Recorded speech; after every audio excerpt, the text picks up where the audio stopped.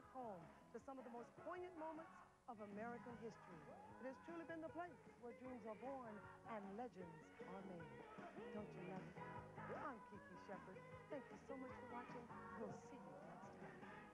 It's Double Man Trouble I think he's seeing someone else. on the Parkers. Monday at 5 on WB54. This concludes another broadcast day on WB54. WB54 is owned and operated by Cunningham Broadcasting Corporation and is licensed by the Federal Communications Commission to operate on Channel 54 between 710 and 716 megahertz. WB54's offices and studios are located at 2000 West 41st Street in Baltimore, with transmitting facilities at 2038 Powers Lane in Catonsville. Join us again tomorrow for more of your favorite television entertainment on WB54.